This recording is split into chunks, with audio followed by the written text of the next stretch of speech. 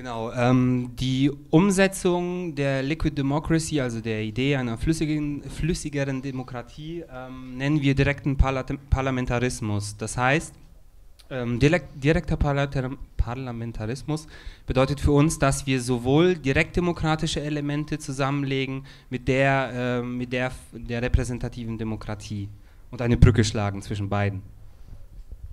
Äh nasz pomysł na bardziej płynną demokrację e, nazywamy e, parlamentaryzmem e, bezpośrednim, to znaczy, że chcemy połączyć system demokracji bezpośredniej z systemem demokracji reprezentacyjnej.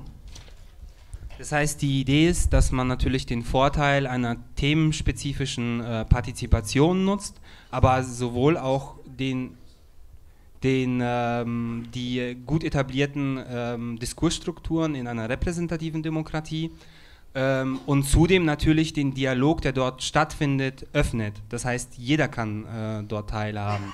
Das heißt, man hat an einem Tisch die Experten, das heißt Sachverständige, Repräsentanten ähm, und eben aber auch die betroffenen Menschen.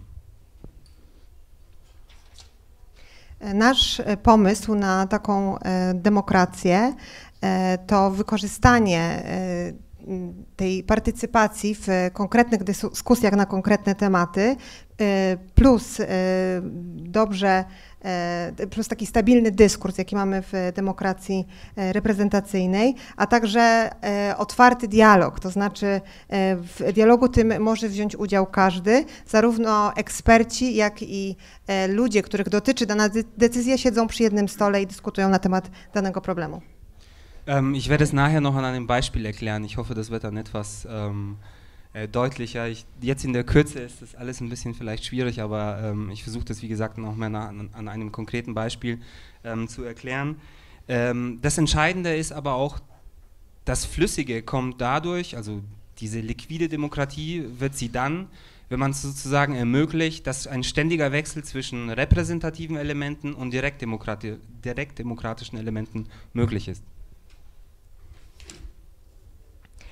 Chciałbym e, użyć pewnego przykładu, ponieważ w tak krótkim czasie przedstawienie tego nowego pojęcia może być e, trudne do zrozumienia, natomiast decydujące w uzyskaniu tej płynności demokracji byłoby według nas stałe wykorzystywanie elementów zarówno demokracji reprezentacyjnej, jak i demokracji bezpośredniej. Das heißt, ähm, ich kann mir jederzeit als, ähm, als Bürger oder als Registrierter auf, ähm, auf der Plattform, das würde ich nachher nochmal erklären, ähm, jederzeit überlegen, ob ich direkt Einfluss nehmen möchte, indem ich sozusagen an einem Papier äh, im Fall eines äh, äh, Volksentscheids direkt an einem Papier äh, mitarbeite ähm, oder meine Stimme zum Beispiel delegiere. Und das Flüssige in dem Moment ist, dass ich mich jederzeit umentscheiden kann. Ich kann meine Stimme einer Person delegieren, die ich für kompetent und vertrauenswürdig halte und aber gleichzeitig sozusagen ähm, in jedem Moment auch wieder mich umentscheiden kann, um an einem Papier direkt mitzuarbeiten, in Form meinetwegen eines Volksentscheids. Oznacza to, że jako obywatel mogę się zarejestrować na pewnej platformie, o której zaraz powiem, e, i w każdym momencie mogę zdecydować, czy chcę pracować nad konkretnym dokumentem e, dotyczącym na przykład jakiegoś referendum, czy też chcę delegować mój głos e, komuś, komu ufam, kogo uważam za kompetentną osobę w danej dziedzinie. Ale oczywiście zawsze mogę również podjąć decyzję o tym, że biorę udział w pracy nad danym dokumentem.